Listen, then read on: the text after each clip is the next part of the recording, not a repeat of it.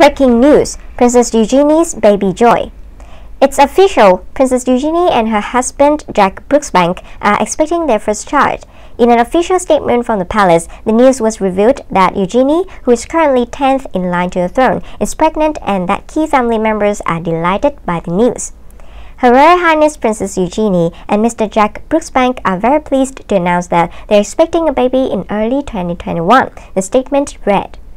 The Duke of York and Sarah, Duchess of York, Mr. and Mrs. George Brooksbank, the Queen and the Duke of Edinburgh are delighted with the news.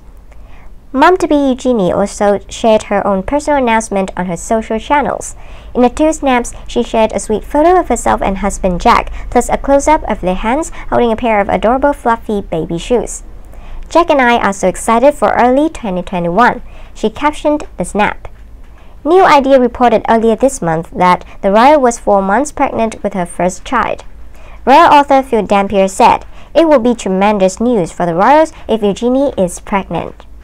The Queen and Prince Philip be delighted to have yet another great grandchild, and it would be perfect present next year for Philip's 100th birthday. It's been a rotten year for Eugenie, what with the Epstein scandal engulfing her father, Prince Andrew, so this is the best tonic for the whole family. For once, it would take the headlines away from Andrew and his association with Jeffrey Epstein. Baby Brooksbank will not only will be not only the couple's first child, but Prince Andrew and Sarah Ferguson's first grandchild. The royal baby will also be the Queen and Prince Philip's ninth great-grandchild. Rumors of Eugenie's pregnancy have been a buzz ever since the couple tied the knot in October 2018. The princess and the businessman wed in a lavish ceremony at St. George's Chapel at Windsor Castle surrounded by friends and family. Congratulations to the parents-to-be!